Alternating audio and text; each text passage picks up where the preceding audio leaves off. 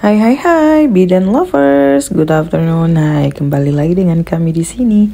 Nah, di sini yuk temanin kita mau ke luar sebentar yaitu mau beli sesuatu yaitu kita ada rencana mau ke embasi. Sedikit cerita ya guys, kalau kita udah mati paspor di luar negeri masih bisa loh diperpanjang, nggak mesti harus pulang Indonesia dulu. Jadi ini kita mau persiapan mau ke embasi karena mau memperpanjang paspor saya. Saya udah mati paspornya itu di bulan 2 nanti. So, kita harus ke KBRI untuk memperpanjang paspornya, tapi ya ada sesuatu yang mau dibeli dulu karena memang OOTD-nya nggak cukup.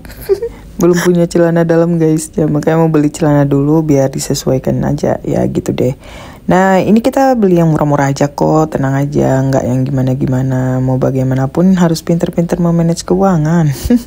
nah insya Allah nanti untuk memperpanjang paspor itu udah tahu belum persyaratannya apa saja. Yaitu di antaranya harus punya ikama, kopi paspor lama, dan harus punya kafil ya, sponsor. Nama kafilnya, ID kafilnya, ID sponsor kalau teman-teman di private gitu ya. Jadi tanpa ada sponsor ID kafil tuh nggak bisa guys untuk diperpanjang paspornya. So teman-teman harus pastikan dulu persyaratan sebelum pergi ke embasi biar nanti paspornya langsung jadi ya. So bagi teman-teman yang udah expired atau mendekati mau mati paspornya jangan khawatir masih bisa diperpanjang untuk di embasi selama anda di di mana pun anda berada. Yang penting anda pergi kemari itu secara resmi ya.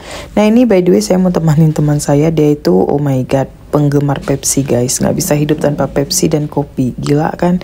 Ya begitulah namanya manusia ya. Walaupun kita orang kesehatan ya terkadang ada kalanya yang memang suka yang hal yang nggak dibolehkan. Namun dalam artian walaupun demikian kan namanya kita orang kesehatan jadi udah tahu lah bagaimana cara mengatur dan memanagenya walaupun itu tidak baik ya untuk kesehatan yang namun setidaknya tidak overdose.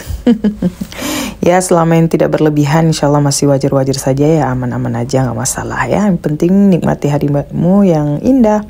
Ya ini keseharian kita, kita itu ya begini setelah keluar apa yang mau diurus, ini dia mau persiapan berangkat kerja dan kebetulan saya dinas malam. Kurang lebih di sini kita berbagi seperti ini biar teman-teman tahu ya bagaimana situasi dan kondisi bekerja di luar negeri. Thank you for watching, see you in next video, bye bye.